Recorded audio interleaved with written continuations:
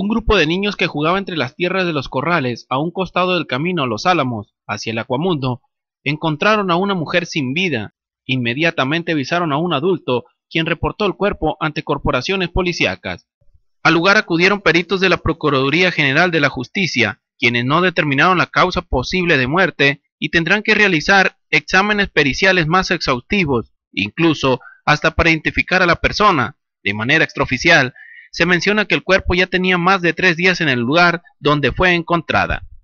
El hallazgo se dio al filo de las 3 de la tarde de este lunes 13 de febrero, donde fue localizado el cuerpo sin vida de una mujer en el interior de un pequeño canal ubicado a 40 metros al norte de la antigua carretera a Cananea, conocido también como Los Álamos.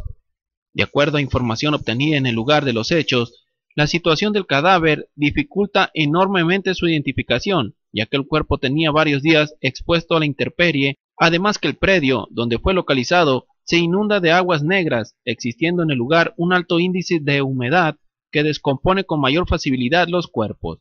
Al igual se menciona que el cuerpo se encontraba semienterrado entre el lodo, por lo que sus ropas no pudieron ser reconocidas, solo se indicó que vestía un suéter con cierre, pants y tenis sin especificar el color. La agente del Ministerio Público acudió al lugar del hallazgo con el fin de dar fe de los hechos y ordenar el levantamiento del cuerpo. Con imágenes de Alejandro Figueroa, Carlos Remorales, para Abson TV Noticias.